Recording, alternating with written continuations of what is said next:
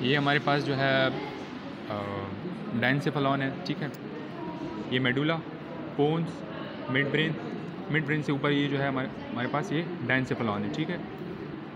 अच्छा first part है ये कॉर्डेट न्यूक्लियस का। इसको head of the caudate nucleus कहते हैं। उसके बाद ये बॉडी हो गई body of the caudate nucleus then tail of the caudate nucleus और आखिर में जो है ये कंटिन्यू हो रहा है एमएक दल के साथ, ठीक है?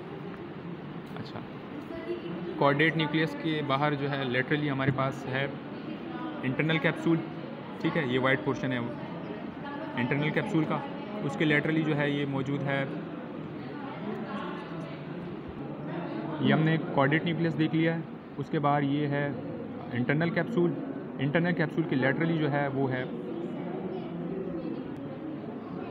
इंटरनल कैप्सूल के लेटरली जो है, वो मौजूद है। लेंटीफॉर्म न्यूक्लियस ठीक है? उसके लेटरली हमारे पास ये है एक्सटर्नल कैप्सूल ठीक है? ये जो है क्लॉस्ट्रम हो गया, ठीक है? और ये पूरा पोर्शन हमारे पास इंसुला इंसुला कहते हैं इसको, ठीक है? ये है हमारे पास सेंट्रल सल्कस सेंट्रल सल्कस के इंटीरियरली हमारे पास है शॉर्ट गायरा है और सेंट्रल सल्कस के पोस्टीरियरली है लॉन्ग गायरा है।